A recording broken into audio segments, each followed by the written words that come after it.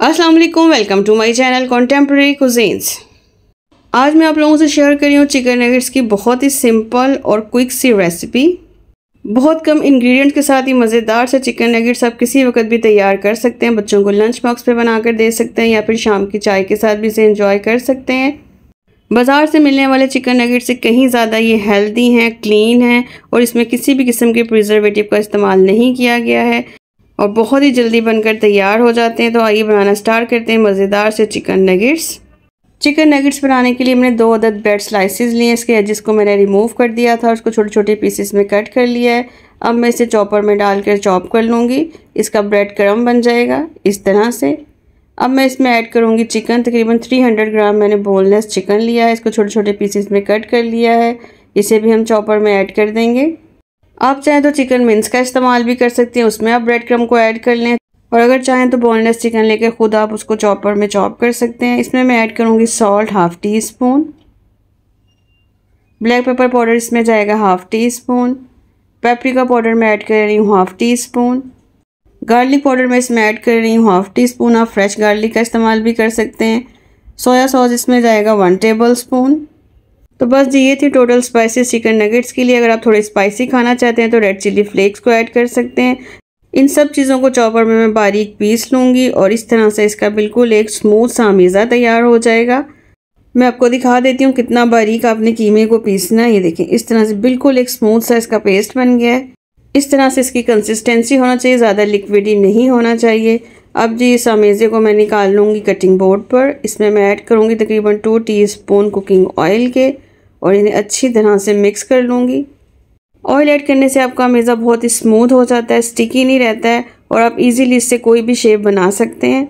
मैं बहुत अच्छी तरह से मिक्स कर रही हूँ ऑयल को चिकन मिन्स में, कि इसकी एक स्मूथ सी डो बन जाए। और फिर मैं आपको एक बहुत ही इजी वे सिखाऊँगी चिकन नगेट्स तैयार करने का, कि आप एक ही टाइम में बहुत सारे नगेट्स तैयार कर लेंगे और आपको हाथों से एक एक नगेट्स को शेप नहीं देनी पड़ेगी। आपने एक बात का ध्यान रखना आपका चिकन का मिक्सचर ज़्यादा लिक्विड ही नहीं होना चाहिए। आपने जो चिकन यूज़ करना है, उसको अच्छी तरह से ड्राई कर लेना है। चिकन नगेट्स में ब्रेड स्लाइसिस का इस्तेमाल भी इसीलिए किया जाता है कि उसका सारा मॉइस्चर एब्जॉर्व कर ले। ये जी बहुत अच्छी तरह से मैंने डो रेडी कर ली है। अब आप हाथों की मदद से या फिर रोलिंग पिन का इस्तेमाल करके इसे एक स्क्वेयर की शेप दे देंगे। इस तरह से। थिकनेस आपने इसकी बहुत ज़्यादा नहीं रखनी और ना ही बहुत इसको पतला करना है। बाज़ार से जो चिकन नगेट्स मिलते हैं, जितनी उनकी थिकनेस होती है, उतनी बस हम इसकी थिकनेस रखेंगे। ये चिकन मिन्स को मैंने शेप दे दी, इस तरह से स्क्वायर में इसे मैंने सेट कर लिया है। अब मैं शार्प नाइफ़ की मदद से इसको कट कर लूँगी। तकरीबन एक एक इंच का गैप रख कर मैं इसकी कटिंग कर रही हूँ इस तरह से। पहले हम स्ट्रेट लाइंस लगाएँगे। इस तरह से नगेट्स की शेप देने में आपकी टाइम की बहुत ज़्यादा बचत होती है। एक ही वक्त में बहुत सारे नगेट्स तैयार कर लेते हैं। ये जिस तरह से मैंने इसको कट कर लिया है रेक्टेंगुलर शेप में मैं इसको कट करूँगी, जो एक्स्ट्रा ये चिकन है, जो इसके एजेस हैं, इसको मैं निकाल दूँगी। इसको बाद में हम दोबारा से इकट्ठा करके इसके भी नगेट्स बना देंगे। तकरीबन डेढ़ इंच की मैं इसकी लंबाई रखूँगी। ये देखिए, ज़बरदस्त से हमारे नगेट्स तैयार हो गए हैं। एक्स्ट्रा चिकन मैं इसमें से निकाल दूँगी और इसके भी हम दोबारा से नगेट्स बना लेंगे। ये देखिए जी, काफ़ी सारे नगेट्स एक ही टाइम में हमारे तैयार हो गए इस तरह से आप नाइफ जैसे उठा सकते हैं। मैंने चिकन मिन्स में भी ऑयल ऐड किया था और ये कटिंग बोर्ड पे भी ऑयल लगा हुआ है, इसलिए चिपकेगा नहीं। इजीली आप इसको उठा लेंगे। देखिए, इस तरह से हमारे नगेट्स तैयार हो गए। ये जी सारे नगेट्स हमारे तैयार हो गए। इनको मैंने इस तरह से प्लेटर में रख लिया और आप देख सकते हैं, सिर्फ़ 300 ग्राम्स चिकन से इतने सारे नगेट्स तैयार हो गए। अब हम इसकी कोटिंग करेंगे। कोटिंग के लिए मैंने एक अदद अंडा लिया, उसमें एक पिंच मैंने सॉल्ट ऐड किया, इसे अच्छी तरह से फेंट लिया है। और ब्रेड क्रम चाहिए होगा। ये जी चिकन नगेट्स को हम इसमें डिप करेंगे। इस तरह से, अच्छी तरह से डिप करना है। और इसके बाद इसे हम रखेंगे ब्रेड क्रम पे। मैं होममेड ब्रेड क्रम यूज़ कर रही हूँ, आप बाज़ार से भी ले सकते हैं। और इसको अच्छी तरह ब्रेड क्रम में आपने रोल करना है। जितनी अच्छी तरह आप इस पर ब्रेड क्रम लगाएँगे, उतनी अच्छी इसकी शेप आएगी। और मैंने कोशिश की कि इस रेसिपी में मैं तमाम चीज़ें मैं होममेड इस्तेमाल करूँ।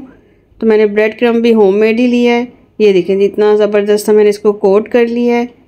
इस तरह से अब इसको सेंटर से थोड़ा सा प्रेस कर देंगे कि बाज़ार वाले नगेट्स की शेप आ जाए। ये देखें जी, ज़बरदस्त सा चिकन नगेट हमारा रेडी हो गया है।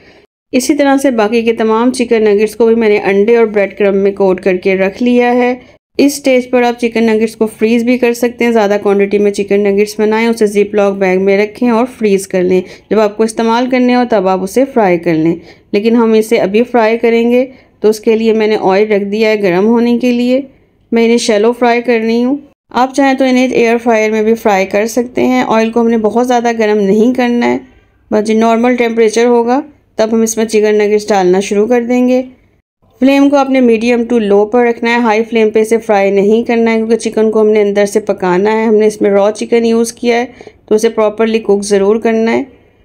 इसलिए मैं इसे मीडियम टू लो फ्लेम पर ही फ्राई कर रही हूँ। तकरीबन एक से डेढ़ मिनट तक इसी तरह इसे हम फ्राई होने देंगे। ताकि ये अच्छी तरह से पक सकें। अगर आप इसे हाई फ्लेम पे फ्राई करेंगे तो ऊपर से तो इस पर कलर आ जाएगा, लेकिन ये अंदर से कच्चे रहेंगे तो इस बात का आपने ध्यान रखना है। ये जी, अब जब एक साइड से इस पर कलर आ गया था तो मैं इसकी साइड चेंज कर दूँगी। दूसरी साइड से भी अच्छी तरह से इसे फ्राई होने देंगे ताकि ये अंदर तक कुक हो जाए। अब जिस सेम फ्लेम पर मैं इसे भी एक से डेढ़ मिनट तक फ्राई होने दूँगी।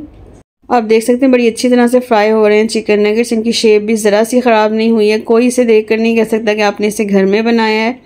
बिल्कुल ये बाज़ार जैसे चिकन नगेट्स की तरह लग रहे हैं। दोनों तरफ़ से नगेट्स पे बहुत ही प्यारा गोल्डन कलर आ चुका है। यही कलर हमें चाहिए था। तो बस जी, अब इसे मैं ऑयल से निकाल लेती हूँ। ये देखिए कितना अच्छा ये फ्राई हुआ है और ये देखिए ज़बरदस्त सा इसका लुक आया है। बस जी, बाकी के नगेट्स भी मैं निकाल लेती हूँ।